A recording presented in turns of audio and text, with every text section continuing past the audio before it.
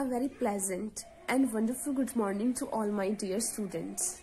I am Baljit Kaur working as a vocational trainer in Government Senior Secondary Smart School, Messampur District, Jalandhar. Today, I would like to throw some lights on a 29 August because today is the 29 August. National Sports Day is celebrated on August 29 of every year. On the birth anniversary of Mr. Dhyan Chand Singh Ji, who was the legendary of Indian hockey player team and won the gold medalist in the Olympics for India in year 1928, 1934 and 1936.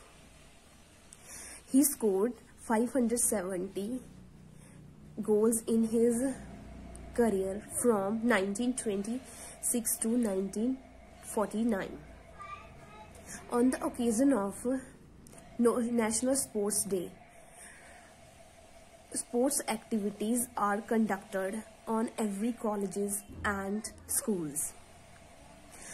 Mr. Dhyan Chand Singh, who was the legendary person in the world, is also known as a wizard of hockey India.